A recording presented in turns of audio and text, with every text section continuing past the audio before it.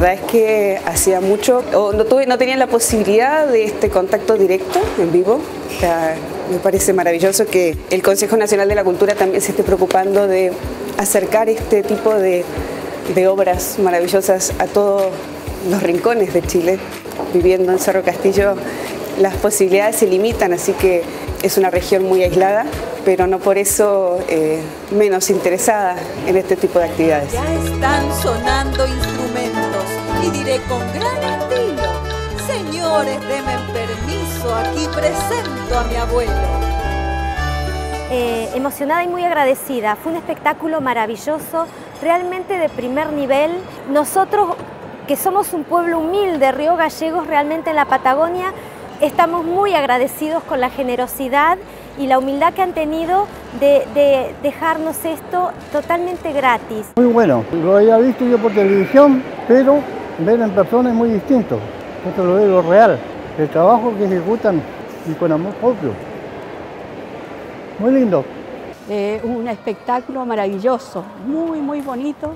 Se han demorado mucho en traerlo y ojalá que ahora vuelvan pronto porque realmente uno lo necesita para, para ver algo maravilloso.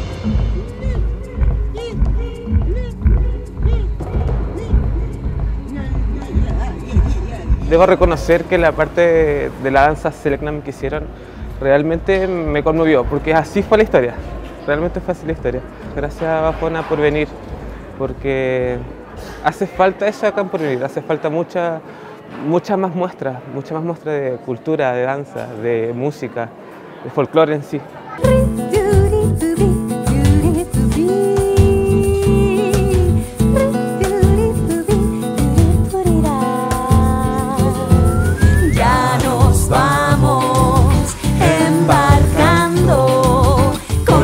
Que nos llevan al encuentro de otras tierras, del calor a la tibieza de tibieza ventarrones recorriéndolos. Acá hay niños que vienen de la estancia, que no tienen otra relación más con más niños, solamente se relacionan acá en Tehuelche cuatro horas al día.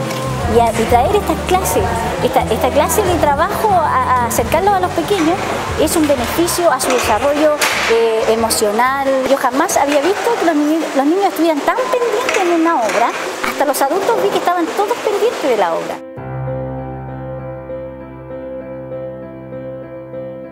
Para mí el participar en las residencias de arte colaborativo de Red Cultura es una, no solo una, oportunidad interesante laboralmente, sino una oportunidad de conocer el territorio, de venir acá a la Tierra del Fuego, a Porvenir, acá donde termina el mundo, acá en la Tierra Sagrada de los Selnam, ha sido todo una experiencia para mí, en lo personal.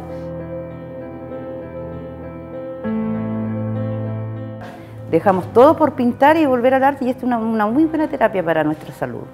Y, pensamos continuar en, a futuro, armar un grupo nosotras que tenemos nombre ya las pintoras del viento porque como acá hay mucho viento. Entonces yo estoy tremendamente contenta de que exista este programa, eh, también valorando y, contándole a la gente que, hay un, un esfuerzo desde el desde el gobierno, desde el Consejo de la Cultura, por eh, que estas cosas resulten y resulten bien.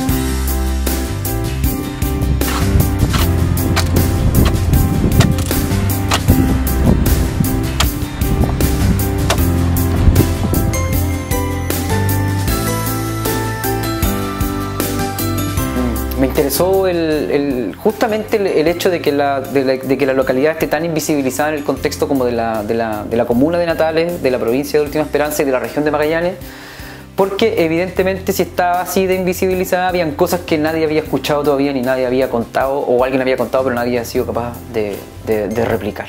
Armé un, un proyecto que estaba vinculado a la recuperación de los relatos orales de las personas que habitaban el lugar, que rápidamente como eh, se empezó a modificar al llegar aquí al, lugar porque finalmente uno le da un impulso a las cosas y las comunidades igual tienen sus propias necesidades pues, y hay que, hay que eso fue súper interesante también de porque comprobarlo es distinto a leer las teorías, ¿no? Como hay que escuchar a la comunidad y confiar en que ellos tienen las herramientas para poder construir lo que necesitan para impulsar su propio desarrollo.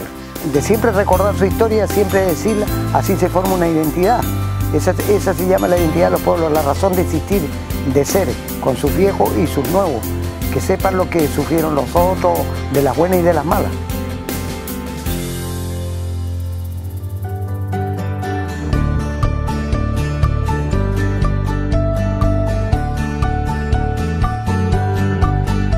A mí me vincularon con esta actividad a raíz de la Feria la Porfía.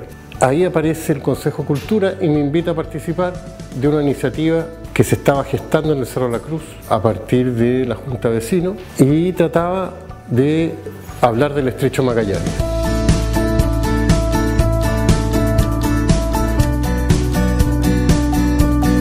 Llegué a través de mi abuela, como pertenece al club, me dijo si podía venir a ayudar y yo acepté. Como ya había venido antes, me gustó y quise venir todos los días.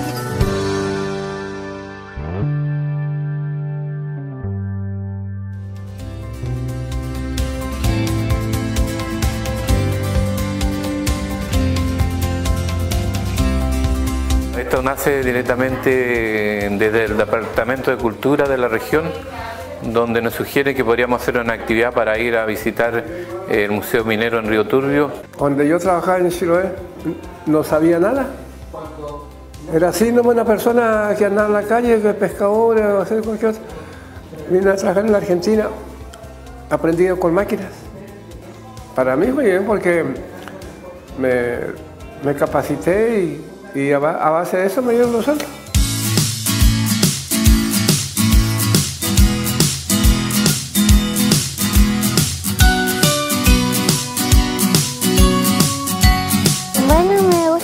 Porque uno aprende de Punta Arenas, lo bonito que tiene. Y no sé, uno normalmente no puede estar aquí mirando esta vista tan bonita. Me gusta mucho.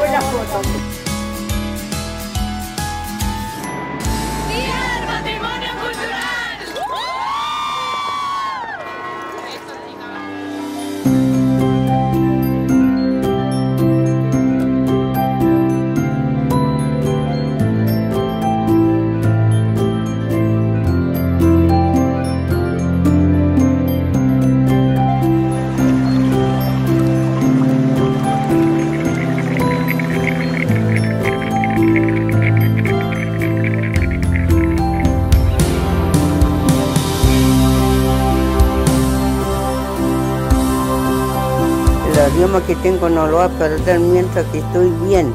Somos cuatro que somos hablantes. Está Raúl, está Francisco, está Nelson y yo.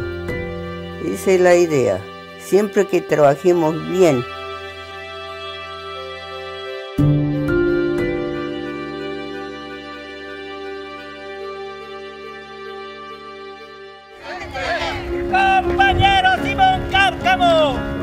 ¡Presente! Compañero. Mi nombre es Carolina González Toro, soy hija de Ramón González Ortega, detenido un 11 de septiembre de 1973 y ejecutado el 30 de octubre de 1973.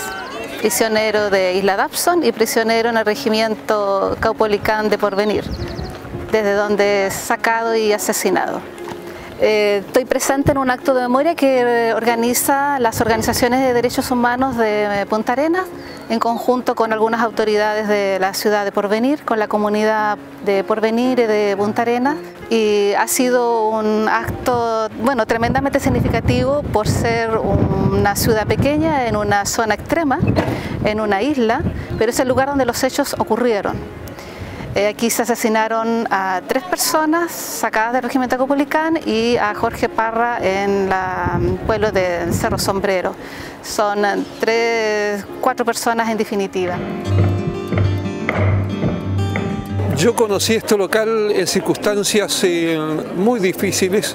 Estuve confinado mm, allí y la verdad torturado. Y hoy día vemos una situación diferente. Aquí se efectuó un acto, yo diría, pedagógico, formativo, aleccionador y, de toma de conciencia. Eh, vemos eh, este edificio en donde hubo tanto dolor, tanta angustia, pero también yo diría valentía y dignidad. Y hoy día se continúa.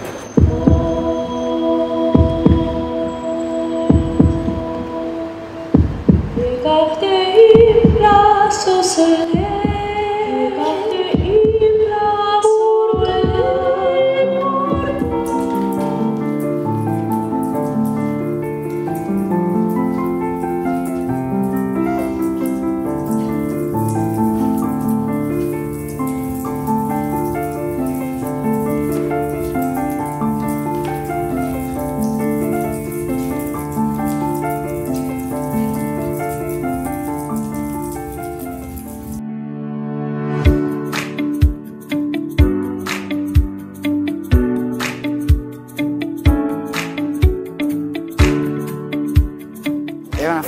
expresarse así muy libremente, es, es como completa. Uno se para en el escenario y se deja fluir.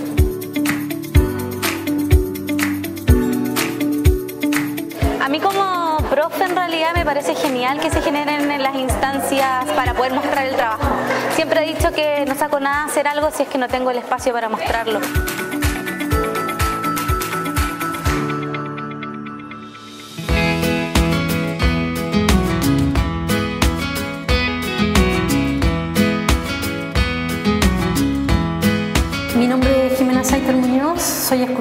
Soy magallánica. Eh, estoy trabajando con los dos terceros aquí en el proyecto Acciona. La idea es trabajar el tema del volumen, porque el volumen es una de las primeras cosas que desaparece cuando los niños entran a, digamos, a una formación más, entre comillas, más académica. El paso importante que está haciendo Acciona en insertar de nuevo lo necesario eh, en cuanto a creación, que dejar que los niños tomen las cosas, que se embarren, que, que, que jueguen, que disfruten.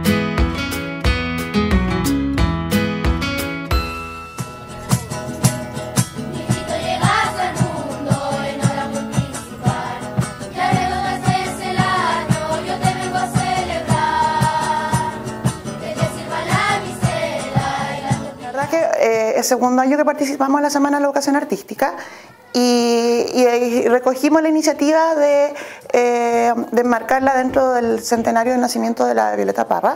Se destacó la figura de ella como, como una mujer, se recalcó de que era autodidacta, se recalcó de que era una persona nómade y que recorrió Chile eh, buscando justamente aspectos culturales que rescatar.